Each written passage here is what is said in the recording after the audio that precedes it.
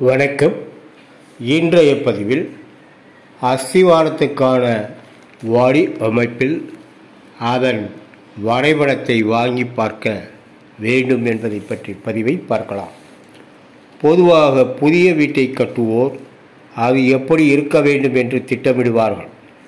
இதில் கட்டிடத்தின் வெளிப்புற தோற்றம் சார்ந்த வடிவமைப்பிலேயே பலரும் அதிக கவனம் செலுத்துகின்றனர். இதற்கு அடுத்தபடியாக கட்டடத்தின் உட்புற பகுதிகளில் வடிவமைப்பு எப்படி இருக்க வேண்டும் என்பதில் கவனம் செலுத்த துவங்கியுள்ளனர். இந்த விஷயங்களில் கவனம் செலுத்தினால் மட்டும் போதாது. கட்டடத்தின் அடிப்படை ஆதாரமாக உள்ள விஷயங்களிலும் கூடுதல் கவனம் செலுத்த வேண்டும்.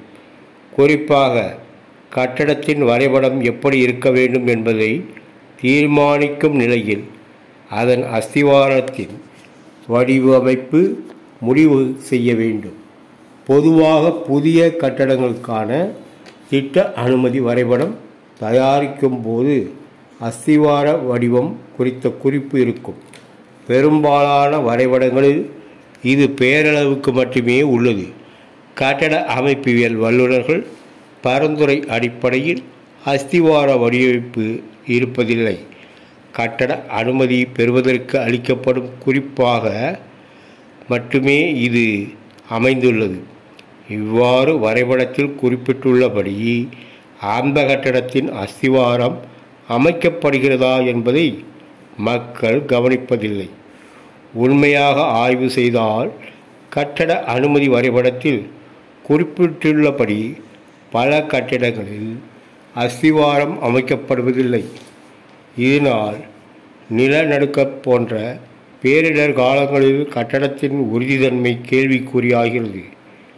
இது பல உயிர் சேதங்களை ஏற்படுத்துவதாக அமைந்துவிடுகிறது. கட்டட அனுமதி வரைபடத்தில் சிறு குறிப்பாக மட்டுமே அஸ்திவாரம் வடிவம் இருப்பது நல்லதல்ல. கட்டட அமைப்பில் பொறியாளரை அணுகி அஸ்திவார தூண்களுக்கான வடிவமைப்பு எப்படி இருக்க வேண்டும் என்று வரைபடத்தை பெறுவது மிகவும் நல்லது.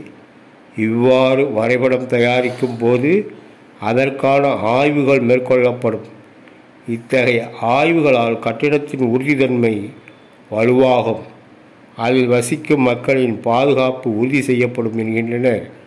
கட்டுமான துறையில் உள்ள பொறியாளர்கள். இக்காணொலியை கண்டமைக்கு மகிழ்ச்சி. மீண்டும் நல்லதொரு பதிவில் சந்திப்போம். நன்றி.